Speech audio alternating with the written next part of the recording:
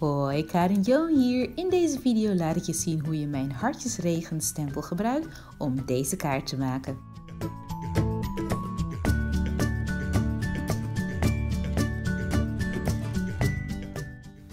Ik begin met de dubbelzijdig klevende vellen van Craft Emotions. Het is een vel met dubbelzijdig klevend papier ertussen. Dus eigenlijk drie lagen, twee dragers en daartussen een klevende laag. Je kunt ook het merk Stickit gebruiken. Eigenlijk werkt Stickit nog zelfs nog beter voor stansen. Maar ik had nu op dit moment uh, dat van Craft Emotions in huis. Ik plak het op een zwart uh, stuk kaartenkarton en ik doe ook een wit stuk kaartenkarton ernaast, want ik wil ze allebei dubbelzijdig klevend hebben. Dat is nodig voor mijn project.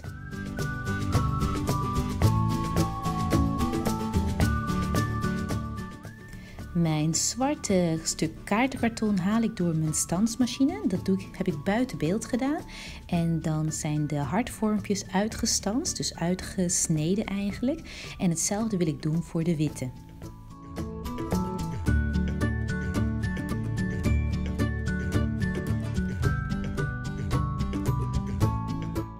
De witte, uh, of tenminste op het witte kaartstof wil ik graag kleuren. Ik doe dit met Tombow Dual Brush Markers. Het zijn uh, stiften op waterbasis, met inkt op waterbasis.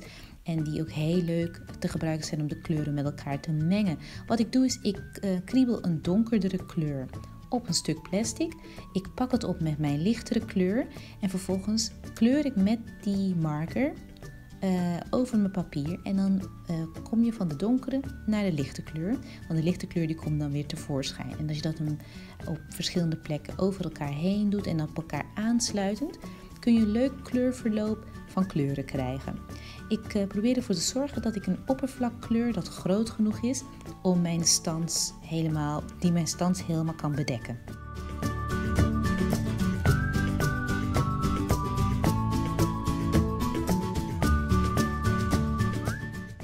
Stansen zijn metalen schablonen met een opstaand randje. Als je ze door een drukpersje haalt, en dat heb ik hier al gedaan, maar dan buiten beeld, dan drukt dat opstaande randje als een mesje in het papier en snijdt het de vorm uit van het randje. Ik ga mijn stempels uh, set hartjesregen gebruiken. En ik gebruik de grote handlettered quote: Jij laat het hartjes regenen. Um, die heb ik uh, extra groot gemaakt voor je. Eigenlijk is die al genoeg om een kaart uh, van te maken. Je hoeft er eigenlijk niet veel bij te hebben. Maar we gaan toch een beetje meer doen. Ik gebruik mijn Misty Stamping Tool. Het is een soort openklappend plastic uh, gebeuren met, uh, waar ik mijn stempel op kan plaatsen. En ik gebruik Versafine inkt om mee te stempelen. Watervaste inkt en met een hele mooie afdruk. Ik wil graag de contouren van de hartjes aan de onderzijde overnemen op mijn kaart en daarom trek ik ze over met een potloodje. En ik bepaal ook waar ik de kaart wat smaller wil hebben om uh, los te snijden straks.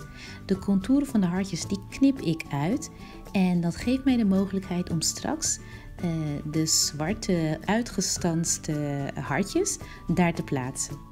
Omdat ik graag wil dat de hartjes iets uitsteken over de rand van de kaart, um, snijd ik de kaart wat smaller af aan weerszijden.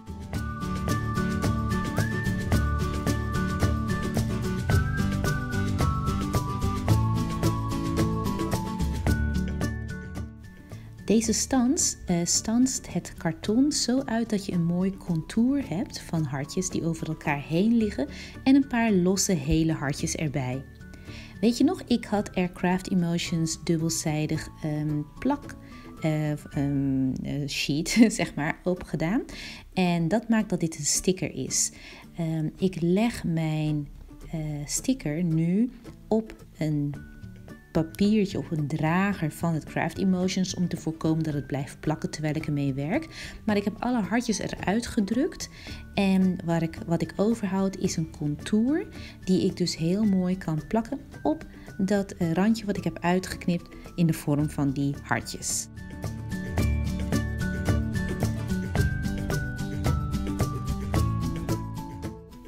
Als je er een printerpapiertje op legt, kun je op een veilige manier alles nog een keer aandrukken. De randjes onder uh, de hartjes, die um, tip ik even aan met een zwart stift om het nog even een beetje netter te maken.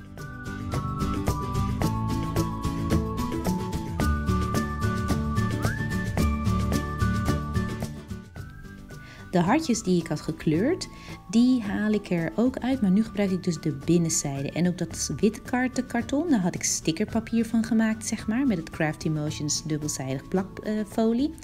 Um, en nu haal ik dus een aantal van de hartjes eruit en plak ze in de um, contourhartjes. En dit is ook al heel leuk. En ik twijfelde, zal ik ze nog meer uh, hartjes erbij doen of niet?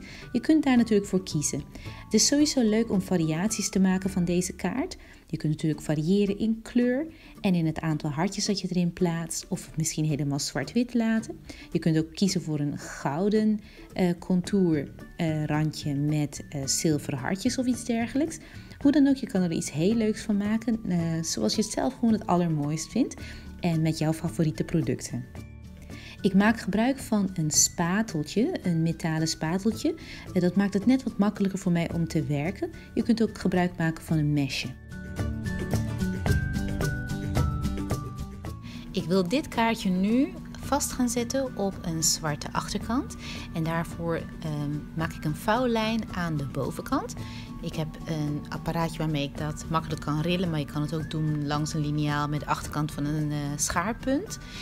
Um, en ik vouw dus um, de bovenkant over de zwarte kaart heen. Even een lijntje trekken om te weten waar ik hem af moet snijden. Heb ik even buiten beeld gedaan. En nou past mijn witte kaart perfect op mijn zwarte achterkant. Ik kies ervoor om de onderzijde van de witte kaart waar de hartjes zijn vast te plakken met dubbelzijdig foamtape om wat relief, wat dimensie, wat um, hoogte te creëren.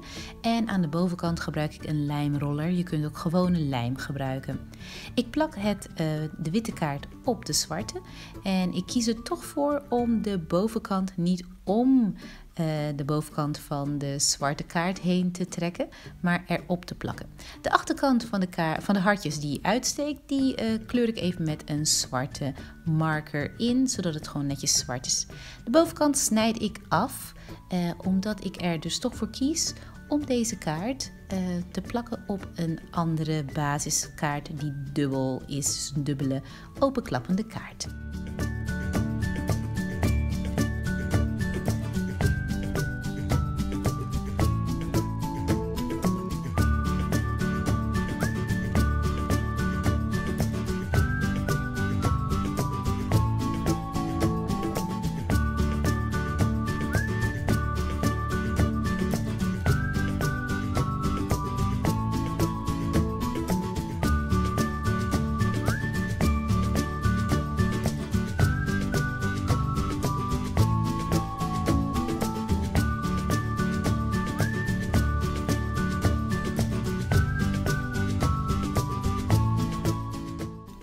Nadat ik de letters heb ingekleurd met de Tombow Dual Brush Markers in verschillende rood en roze en oranje tinten, gebruik ik de Signo Uniball Gel witte gelpen om leuke kleine accentjes aan te brengen die net wat highlights zijn op de hartjes en op de letters. En met een fineliner nog een klein stikselrandje eromheen. En het zijn net die kleine details die een kaart net extra speciaal maken. Mijn fineliner is een Uniball pin, of Unipin fineliner. Heel prettig en heel fijn in gebruik, ook watervast. Dan gebruik ik nog wat stempels van mijn stempelset Hartjesregen. En kies ik voor de woorden Ik vind jou lief. Ik heb een aantal grote woorden en een heleboel kleine korte zinnetjes voor jou in de stempelset geplaatst. Um, zodat je heel veel variatie kunt maken in de uh, teksten en de boodschappen die je wilt uh, geven aan degene die de kaart ontvangt.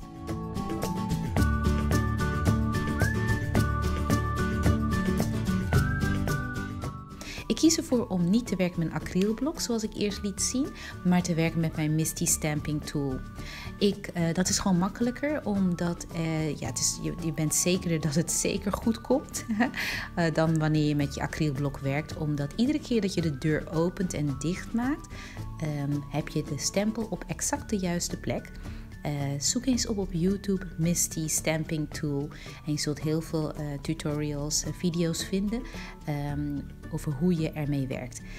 De Misty Stamping Tool werkt dus door iedere keer de deur open en dicht te doen op jouw werk. En op die manier kun je dus stempelen. En als je stempel niet in één keer helemaal mooi dekkend is, kun je gewoon nog een keer terug. En het komt elke keer heel netjes mooi. Uh, helemaal goed. Goed, mijn dubbele kaart is nu uh, klaar voor, tenminste de binnenzijde is klaar. En ik wil nu de zwarte kaart erop plakken. dat doe ik met dubbelzijdig plakband, want mijn lijmrollen raakte op. Kunt natuurlijk ook natte lijm gebruiken. Eigenlijk vind ik dat zelf over het algemeen makkelijker, want met natte lijm kun je nog een beetje schuiven. En um, droge lijm in de vorm van dubbelzijdig plakband en lijmrollers is niet zo vergevingsgezind. Als je ze allebei rechtop houdt en tegen elkaar aan op het werkoppervlak, dan heb je grote kans dat het goed komt. het werkte goed in dit geval. Hier en daar wil ik nog een randje bijsnijden waar het niet helemaal perfect um, op elkaar zit. En um, dat doe ik ook aan de andere kant. En op zich is het een heel leuk kaartje om te geven aan iemand. Om te vertellen hoe bijzonder ze voor je zijn, wat ze voor je betekenen. Er zijn van die speciale mensen die je uh, ja, een hart onder de riem weten te steken of even een bemoediging weten te geven. En het is goed om ook hen te laten weten, jij laat het hartjes regenen. Ik vind jou echt lief. goed, om uh, het nog leuker te maken, kies ik ervoor om de hoeken af te ronden en wel alleen de onderste hoeken. Ik gebruik de We Are Memory Keepers Corner Jumper. Je kunt uh, iedere hoekpons gebruiken die je hebt, eventueel de hoeken knippen, dat kan ook. Maar de We Are Memory Keepers Corner Jumper is echt geweldig. Hij um, gaat zelfs door dun hout heen, door het uh, lichte basalthout. Dus dat is wel heel erg leuk. Hij is echt heel sterk. Dan neem ik nog een van de zwarte hartjes die ik over had. Je weet, het is, was een sticker geworden. En eigenlijk is mijn kaartje nu helemaal klaar. Het enige wat het nog mist is even een originele handtekening van mij. Want uh, zo maak je het wel helemaal handgemaakt. Heel erg leuk dat je gekeken hebt. Ik hoop je geïnspireerd te hebben om zelf ook met deze producten aan de gang te gaan. Mijn naam is Karin Joon en je vindt mijn stempels in de hobbywinkels. Groetjes en tot een volgend project.